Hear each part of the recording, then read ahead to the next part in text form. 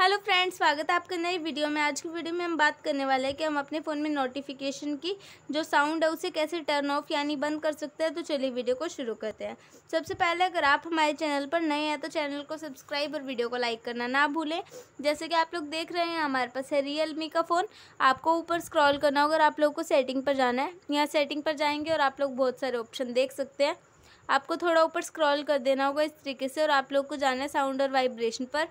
Sound और vibration पर जाने के बाद आप लोग बहुत सारे ऑप्शन देख सकते हैं। आपको ऊपर स्क्रॉल करना और आप लोग को यहाँ पर जाना होगा।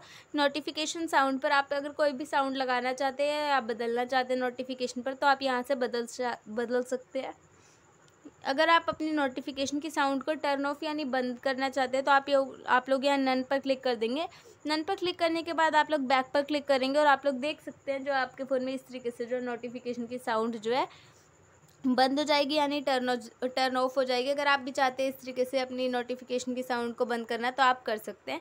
तो उम्मीद है फ्रेंड आपको वीडियो पसंद आई होगी। वीडियो पसंद आई है तो चैनल को सब्सक्राइब और वीडियो को लाइक करना ना भूलें। मिलते हैं नेक्स्ट वीडियो में। तब तक के लिए बाय बाय